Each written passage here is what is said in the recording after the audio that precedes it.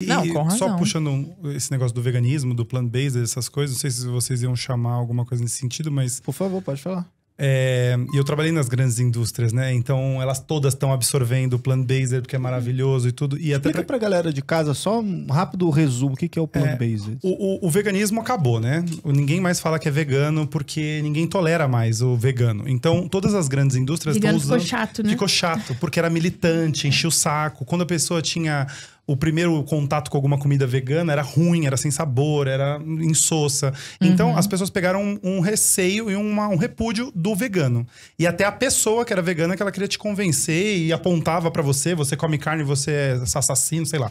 Carnista. É, é. Então, E aí, a indústria adotou o plant-based, né? Que é baseado em plantas. Então, elas todas estão absorvendo isso. E assim, se elas não tiverem, quer dizer que elas não são legais, que elas não estão protegendo o mundo, que elas não estão olhando pra esse lado. Então, não é que ela é tipo, nossa, eu sou super legal, eu entendo mesmo. Não preciso ser. É comercial, publicitário, isso daí lá dentro das indústrias. É fazer por fazer. E outra, é muito rentável. Muito rentável. Você pega um hambúrguer vegano, aí o plant-based, ele custa três, quatro vezes mais do que um hambúrguer normal. Então isso aí dá uma margem de lucro absurda pra eles. É muito dinheiro e é muito barato de fazer. Por quê? Eu pegar um monte de vegetal, fazer uma massa ultraprocessada com sódio, com proteína de soja, com conservante, aromatizante, com um monte de, disso daí é mais barato do que criar um boi, criar um frango, um porco, armazenar e, e- e abater e fazer todo o processo. Então, assim, é muito rentável para eles e tem esse, esse esse que publicitário, que eu sou legal, que eu faço, que eu olho, que não sei o que lá.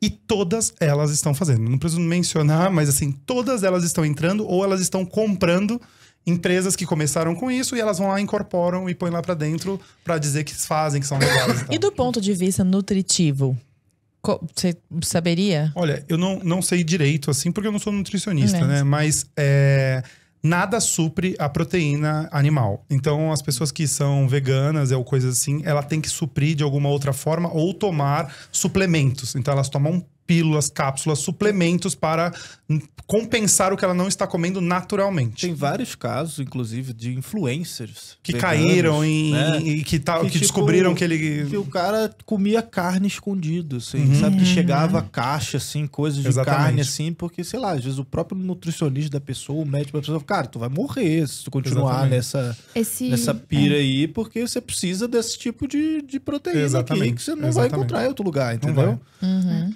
É bem complicado e a gente encontra. A Miley Cyrus, ela era vegana. E aí ela voltou a comer carne, comer carne porque ela disse que ela tava destruindo a saúde dela. É igual tem, tem um cara, um, um australiano. Eu vou procurar a, a imagem, vou até pedir pro Thiago soltar na tela. Então, ó, fica esperto aí, Thiago, vai soltar na tela. Porque, é, cara, é incrível quando tu olha a imagem. É um. Eu acho que é um australiano, se eu não me engano. Ele tá numa cachoeira. E ele é fru, frugívoro, frutívorro, sei lá. Ele, ele só come fruta. Então é tipo um vegano, só que Tá. pro lado da, da Da fruta, lá Da fruta. ele só come fruta. E aí ele, tipo, não, porque, ó, eu estou saudável e tal. E mostra o processo de, de evolução ali, né? No, no passar dos anos, como é que ele foi ficando. Cara, e ele tá só pele e osso, assim, sabe? É- E é um rapaz jovem. Então, é, quando eu vi aquela foto, eu falei, cara, eu não acreditei. É porque eu tenho que procurar, assim, porque é um nome diferente, assim. Mas Uhum. vai aparecer na tela aí pro pessoal de casa É. poder acompanhar. Então, é um pouco disso também, né? A pessoa entra nessa, numa situação ali.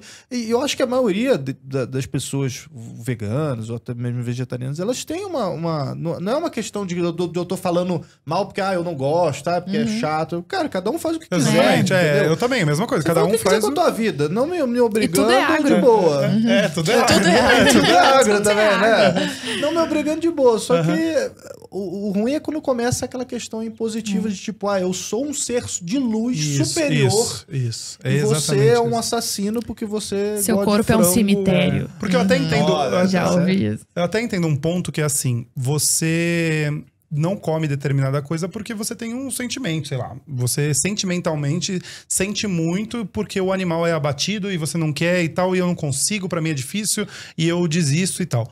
A outra é dizer que não come pra salvar o mundo porque vai a Amazônia acabar, porque Não, aí, é, é. cara. Aí eu não tipo, como aí já- carne, não como carne e não separo o lixo. Ah, tá. É. Beleza. E aí? Então, Entendeu? é esse tipo de coisa. Pois é.